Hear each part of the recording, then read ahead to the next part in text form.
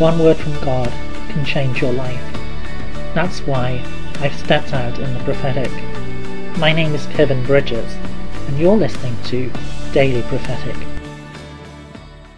The Lord says to you, change comes when you least expect it. Change comes when you least anticipate it. Know that I am at work, that I am going to do remarkable things in your life. I'm going to bring change and transformation. You don't always know when that change will come. You cannot always foresee it. But yes, there are signs of hope. There are signs of encouragement that I give you. Before the sunrise, you can see the sky starting to get lighter. And though you do not know the exact moment that the sun will appear, you know that it is on its way. And the Lord says to you, Look and see.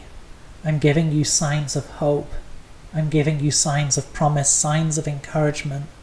Do not fall away in fear, but look with faith and with confidence, knowing that I'm there, knowing that my hand of blessing is upon you, knowing that I will see to it that I bring you through, healed and transformed, brought to a newness of life, brought to wholeness again.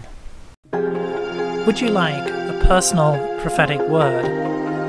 Check out the website in the description below. Don't forget to subscribe to get your daily word of encouragement. And whilst you're here, why not have a look at some other of the videos that I've made? God bless you and have a really great day.